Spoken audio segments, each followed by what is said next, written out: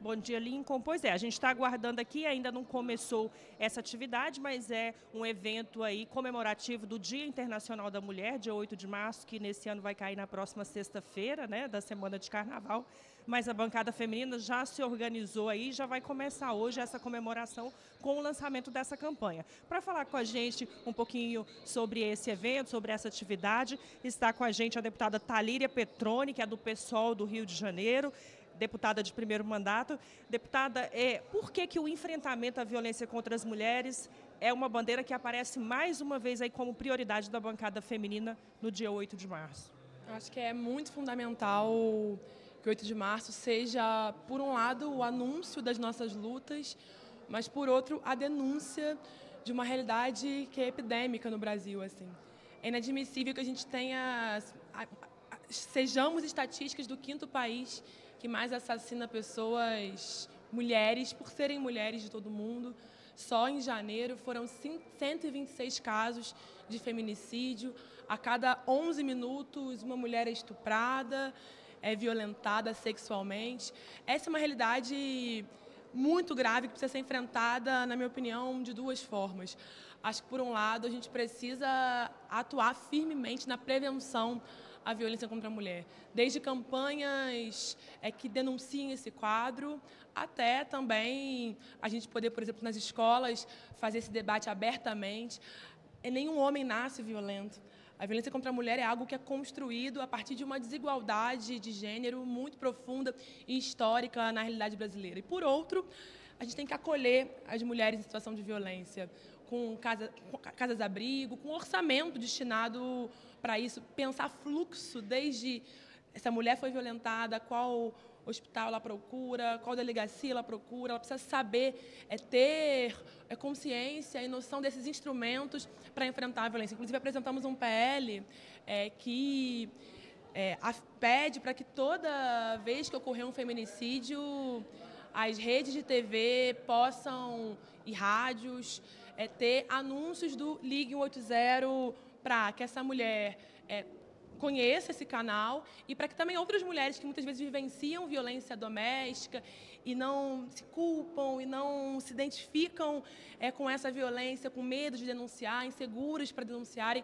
possam entender que não é um problema delas e que é algo muito estrutural na realidade brasileira.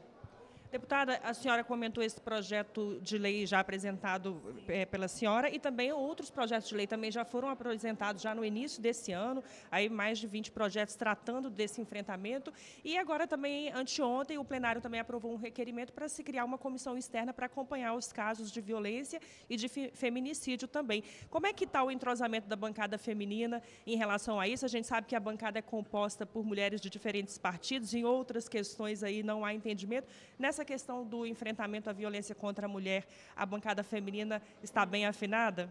Eu acho que a bancada feminina surge aqui nessa casa justamente para que a gente possa dar visibilidade a questões que envolvem nós mulheres. assim. Então, são muitas diferenças, a gente tem posições muito divergentes entre o conjunto de mulheres dessa casa, mas acho que a gente precisa atuar é, em pautas que sejam síntese um pouco é, das nossas diferenças.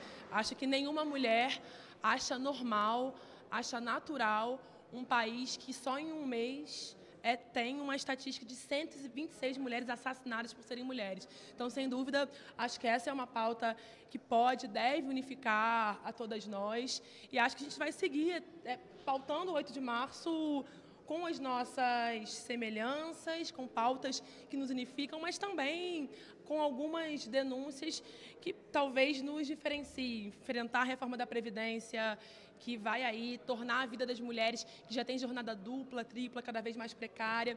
Para nós, desse campo que a gente entende enquanto democrático, é muito importante, é, nesse 8 de março, lembrar da nossa companheira Marielle Franco, é, não por ser nossa companheira, mas que era uma mulher parlamentar, quinta mais votada do Rio de Janeiro, assassinada num, num crime político.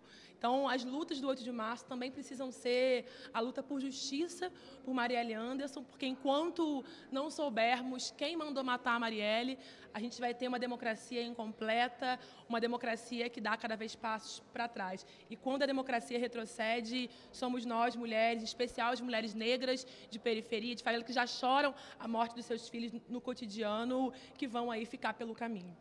Tá certo, muito obrigada, deputada Talíria Petroni. Bom trabalho. É, a gente recebeu uma informação aqui agora de que essa campanha foi adiada, provavelmente vai ficar o lançamento para a semana que vem, mas está marcada, né, vai acontecer aí um evento da bancada feminina em comemoração ao Dia Internacional da Mulher, uma campanha de combate à violência contra as mulheres. A gente volta ao estúdio Lincoln